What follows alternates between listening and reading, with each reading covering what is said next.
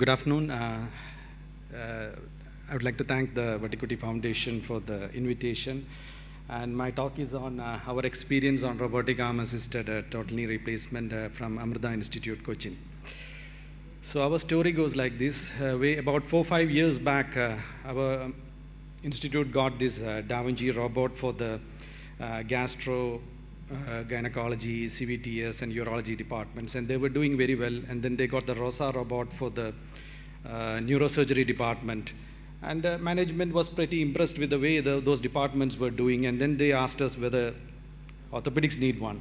So we were kind of taken aback because we didn't know much about robotics at that time. We did have navigation Brainlab with us, but uh, again, uh, when uh, robot came into play, then this was one of the robot which was there in the market. I think it came way back in 2006. I think uh, the Mako robot was first introduced, and over the years they have modified. And the current generation, the third generation, I believe, uh, was available in 2015. So started with Uni, then Total Hip, and currently in 2016 they have, released, uh, they have released the Total Knee uh, usage of this particular machine. And this was the one which the management got us in 2017, but we started the program sometime in 2018, and uh, till now we probably might have done maybe about 100, more than 100 cases. And uh, we, we were uh, kind of a bit impressed with the whole thing. Maybe I'll uh, share my experience with you. So we all know, like as the previous uh, speakers said, uh, the registries throughout the world have shown that the revision rate uh, of our regular joint replacements are slowly going up, and, and it's the same scenario in India too. We are facing with lot and lot of revisions, and in our Indian patients, it's pretty difficult to manage them because the main reason being the financial reasons, and they are kind of, uh, it's, it's a difficult scenario altogether to do revision cases. So if you get it right the first time, I think that would be the best. And uh, whichever conferences you go, you always hear this magic uh, number 20% of our patients, especially total knee, re, uh, total knee replacement patients, are unhappy. So, if we can correct those 20% again, uh, I think that should be the aim what we as surgeons should be aiming for. And uh, uh, we know many patients do get operated relatively in the younger age group and the failure mode are, are, also slowly changing. It's not just infection, there are other causes for failure. And uh, these are the things we should be uh, trying, to, uh, trying to tackle in future. So recently in uh, this month, I was in Cleveland for the CCJR meeting and uh, I could see that at least in uh, three of the major companies' stalls, there were three robots. So it was uh, pretty impressive that most of these major players are concentra concentrating on this robotic technology. Maybe that might be the fashion in the coming years. Uh, we have to carefully watch and see how things are going in the coming years. And also there was a live surgery uh, on that in, the, in, this conference by Michael Ast uh, on this Mako robotic uh, knee replacement, which went off very well. So here, here we have a scenario where this Mako robot, which has more than 10 years of uh, been in the market, and also a good implant, which is uh, relatively good uh, track record. And they've combined these together and given us a product where we can do an enhanced planning uh, for a total knee replacements. Most of us do a lot of planning for our total hip replacements, but very little if it's a straightforward knee replacement. But this enhanced planning do help us a lot. And also you can do a dynamic joint balancing, that is intraoperatively and preoperatively, you can balance the knee with accurate numbers which are shown in the monitor. And uh, much more important of all these is the robotic arm assisted bone preparation, which is uh, really nice, which, which is one of the best things I think uh, this robot can give us, which I feel may be really, really important because I think this is one robot which can give you a re real precise cut. Even if you cut more or less, it really tells you what, what is happening for that bone. When you do a Mako planning, you have to have a 3D CT taken because it's a CT-based robotic machine.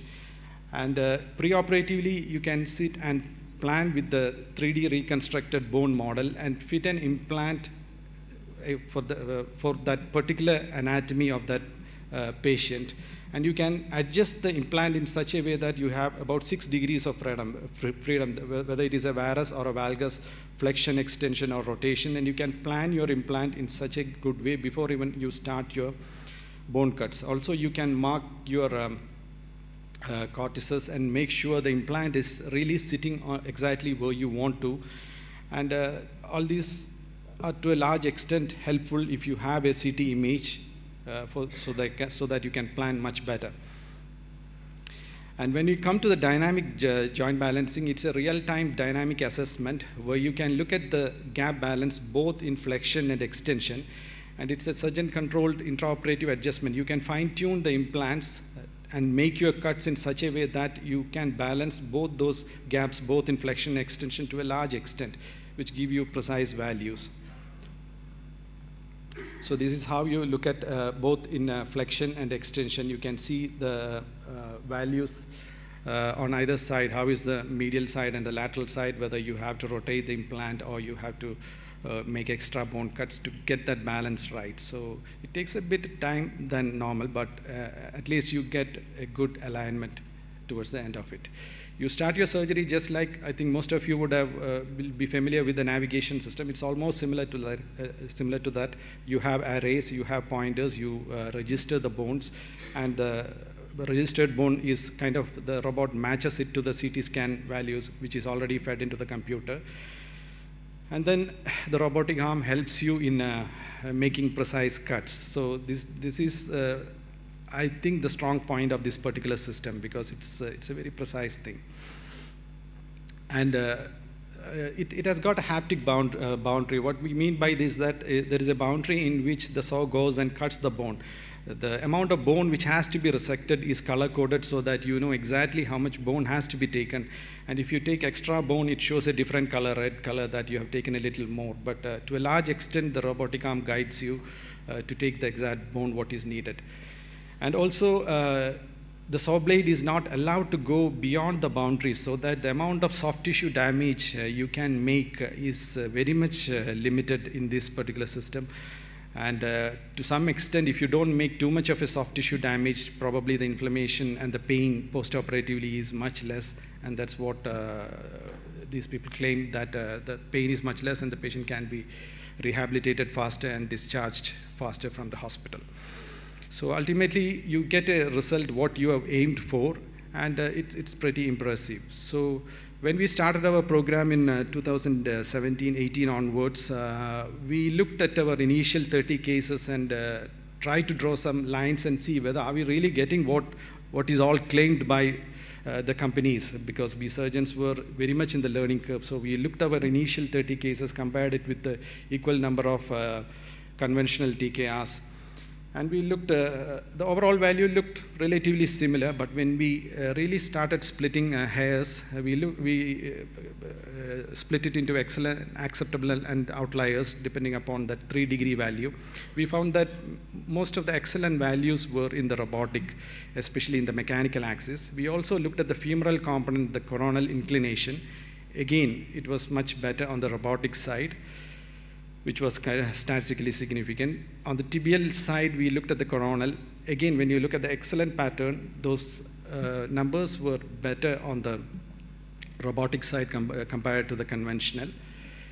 When we looked at the sagittal inclination of the femoral component with whatever X-ray we had, because it was not a long, a long film, but a short film, again, with the conventional and the robotic, the robotic did have better values which again on the tibial coronal axis, again not statistically significant, our numbers were little, but again it uh, overall value looked better. And when we looked at the literature, again the robotic did give a, a better mechanical alignment compared to the conventional, which was almost similar to other papers out there. And in conclusion, we found that probably the robot was giving us better values, at least in the initial x-rays what we look at, even though clinical data will take a long time, but at least in the x-ray wise, it was showing, it was giving us a much, much uh, better values compared to a uh, uh, conventional uh, total knee replacement. Thank you very much.